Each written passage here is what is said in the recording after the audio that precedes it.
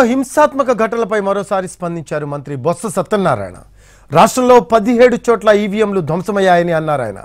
ఎనిమిది చోట్ల వైసీపీ వాళ్ళు ఉన్నారని టీడీపీ ఆరోపిస్తుంది అని మరి తొమ్మిది చోట్ల ఎవరున్నారని ఆయన ప్రశ్నించారు.